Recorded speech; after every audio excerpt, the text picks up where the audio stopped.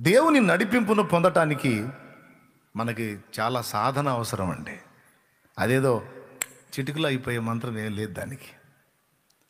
అనుదినం అనుదినం ఆయన నడిపింపును పొందడానికి ఎప్పుడూ ఆసక్తి కలిగి ప్రయాసపడాలి. ఆయన మీద ఆనుకోవటాన్ని ఎక్కువ అలవాటు చేసుకోవాలి.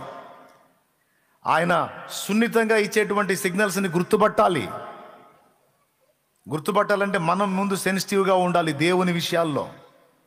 లోకానికి నువ్వు కఠినంగా ఉండు. కొంతమంది దేవుని విషయంలోనేమో కఠినంగా మొద్దుబారిపోయి ఉంటారు. లోక సంబంధమైన విషయాల్లో మా చురుగ్గా ఉంటారు. ఎంత షార్ప్ అంటే లోకస్తులకే ఆశ్చర్యం. అంత చురుగ్గా ఉంటారు లోక వ్యవహారాల్లో.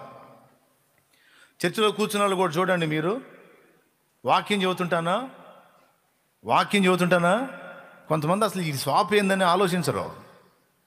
ఏదో వచ్చాము నాలుగు మాటలు కూర్చొని తింటే బాగుంటుంది. ఏదో దీవెనంట అని కూర్చొని వాళ్ళు ఎక్కువ. వీడు ఏదో చెబుతున్నాడు మొత్తానికి ఏదో నేర్చుకోవాల్సిన విషయం ఉంది అనుకునేవాళ్ళు తక్కువ. ఏళ్ళనే తీసుకెళ్ళి సినిమాల్లో కూర్చోబెట్టండి. పక్కోడిని బాది ఇటు పక్కోడిని బాది వెనకోడిని కొట్టి ముందోడిని జరిసి ఎగిరెగిరిపడి ఎగిరెగిరిపడి తర్వాత ఏం జరిగిద్దో ఎట్టయిద్ది అనుకుంటా ఇట్టయిద్దిలే ఇప్పుడు ఆడొస్తాడులే ఇప్పుడు ఇది అయిద్దిలే అది అయిద్దిలే నువ్వు వాగుతా రన్నింగ్ కామెంటరీ చెప్పుకుంటా. నిజమా కాదా? ఎంత షార్ప్గా బ్రెయిన్ పనిచేసిందంటే నెక్స్ట్ సీన్ ఏం జరగబోతుంది వీళ్ళే చెబుతుంటారు ప్రవక్తల్లాగా. వీళ్ళు సినిమా ప్రవక్తలు అన్నమాట హాల్లో కూర్చొని ఆ నెక్స్ట్ సన్నివేశం రాకముందు వీళ్ళే ప్రవచిస్తుంటారు ఇప్పుడు జరిగి చూడు ఇప్పుడు అది జరిగి చూడని పక్కన వాళ్ళు చిరాకేసి సూత్తనంగా తాగు అంటుంటారు. మళ్ళీ ఆ మాట అన్నది కూడా వాడిని ఒకటి జరుగుతారు వాడు కాయ ఉందని. ఆ చిన్నప్పటి నుంచి ఇవన్నీ చూసి ఉన్నాక చాలా మందిని దేవునికి స్తోత్రం కలుగునుగా. అల్లెలు సినిమాలు దాకేందుకు? టీవీ ముందు కూర్చొని చూడండి. పక్కన వాళ్ళని బాది బాది బాది బాది. తర్వాత సన్నివేశం వీళ్ళే చూతారు ఎంత మైండ్ షార్ప్ పని అంత బాగా మరి దేవుని సన్నిధిలో ఎందుకని పని చేయదు ఏమో నాకు అర్థం కాదు. ఎక్కడ పని చేయాలి? నేను చెప్తున్నా లోకానికి నువ్వు మొద్దువై ఉండు కఠినపరచబడి ఉండు అది వేరే సంగతి కానీ దేవుని సంగతులను పసిగట్టుటలో నువ్వు బహు సూక్ష్మంగా చాలా సున్నితంగా ఉండాలి. అప్పుడు మాత్రమే నీకు దొరికిద్ది ఆ నడిపింపు.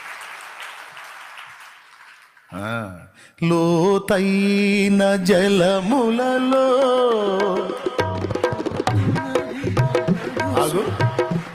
లోతునన్నాడా పై పైన అన్నాడా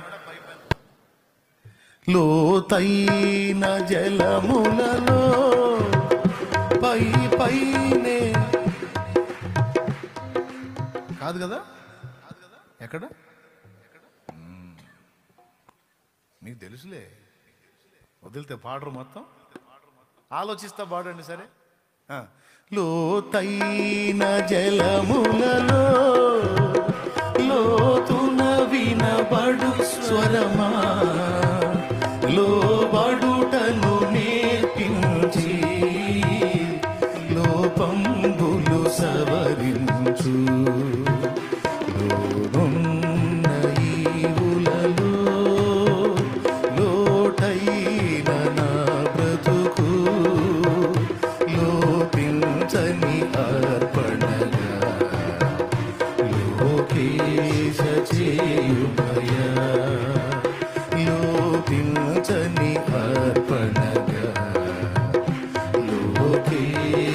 చేయుమయా నడిపించు నానా.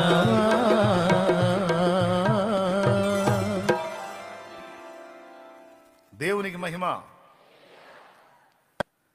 అంత కనెక్ట్ అయి ఉండాలి దేవునికి.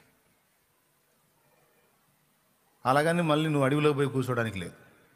ఊళ్ళోనే ఉండాలి జనంతోనే ఉండాలి ఇంట్లో వాళ్ళతో ఉండాలి బయట వాళ్ళతో ఉండాలి ఎంతమందితో ఉన్నా ఎంతవరకు ఉండాలో అంతవరకే ఉండాలి. ఎక్కువ మాత్రం ఎక్కడున్నా ఏసైతో ఉండాలి. ఇది కానీ నువ్వు సక్సెస్ కాగలిగితే నువ్వు కూడా ముల్లర్లాగా తయారవుతావు ఇక జార్జి ముల్లర్లాగా. గట్టిగా. అది. నాకు ఈ అనుభవం చాలా ఇష్టం. అందుకే మళ్ళీ మళ్ళీ చదువుకుంటా. ఆ సాధన చేయాలి. ఇప్పుడు కూడా పర్టికులర్ డేట్స్ ఎవరికి ఇవ్వనుగా నేను? పలానా రోజు వస్తాను నీ దగ్గరికి పలానా రోజు వస్తాను ఇవ్వనుగా? ఎందుకంటే ఎప్పుడు ఏ రోజు ఎక్కడికి నన్ను ఎటు తీసుకెళ్తాడో నాకు తెలియదు. ఆయన నడిపింపు కాపు చెప్పుకున్నా. ఇక ఏ రోజు ఎటు తీసుకెళ్తే ఆ రోజు అటు పోయి దేవుని కార్యం నెరవేర్చి వస్తా. అప్పుడప్పుడు చెప్పటమే హడావుడిగా. మన వాళ్ళందరికీ పాపం సేవకులు చాలామందికి అగసాట్లే. ఇక రేపు పొద్దున ఆడికి వెళ్ళేది ఉంటే ఇవాళ చెప్తాము. లేకపోతే సాయంత్రానికి వెళ్ళేదంటే పొద్దున్న చెప్పటం ఉంటుంది. ఇక ఈ మధ్యలో గ్యాప్లో రెడీ చేసుకోవాలన్నీ వాళ్ళకి అనిపించి ఒక మెంట్లోడు. ఎప్పుడు పడితే అప్పుడు ఇదిగో వస్తున్నాను అంటాడు. ఎందుకంటే ఈ మాట ముందు ఏసై అన్నాడు కాబట్టి. ఇదిగో వచ్చుచున్నానని దేవునికి స్తోత్రం కలుగును గాక. వచ్చే వారం వస్తాలి నాలుగు నెలలు వస్తాలి అని చెప్పాల. త్వరగా వచ్చుచున్నాను అన్నాడు. అంటే ఏం చేయమని? సిద్ధపడమని. ఏ క్షణాన ఏసై వచ్చినా రెడీగా ఉండాలన్నట్టు. అందుకే ఏ చిన్న పొరపాటు ఏ చిన్న లోపం జరిగిన వెంటనే ఒప్పేసుకొని ఫ్రెష్ అవ్వండి. సడన్గా మనం వెళ్ళిపోవచ్చు లేదా ఆయన రావచ్చు. మనం వెళ్ళిపోయినా కూడా ఫ్రెష్గా వెళ్ళిపోవాలి.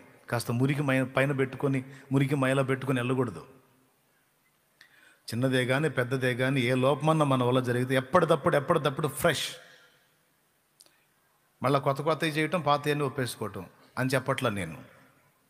అట్ట అర్థం చేసుకున్నారు పళ్ళు ఏమవుతాయి? మ్మ్, దేవునికి స్తోత్రం కలుగును కాక గట్టిగా చెప్పండి. ఇంకోసారి చెప్పండి. ఏ రోజుకు ఆ రోజు తెలుసో తెలియకో చిన్నవో పెద్దవో నీ వల్ల లోపాలు ఉంటే ఎప్పటికప్పుడు ఒప్పుకొని ఎట్లా ఉండాలంటే గొర్రె పిల్ల తన మీద మైల పడితే దులిపేసుకున్నట్టు ఎప్పటికప్పుడు ఫ్రెష్గా ఉండాలి. ఎందుకంటే ఏ క్షణానైనా నిన్ను పిలవచ్చు లేదా ఆయన చిత్తమైతే త్వరలో రావచ్చు.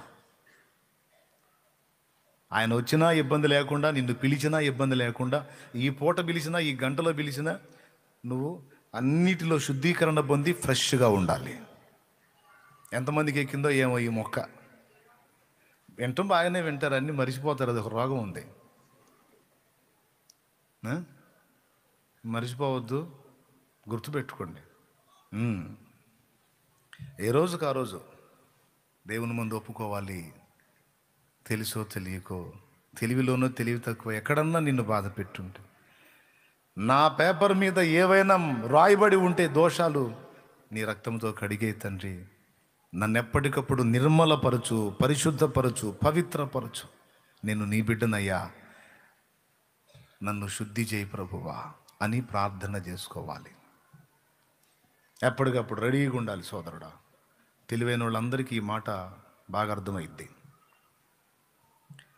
ఆయన నడిపింపు కొరకు ఎప్పటికప్పుడు మనం మెళకువగా ఉండాలి. ఏం చెబుతున్నాడో గుర్తుపట్టాలి.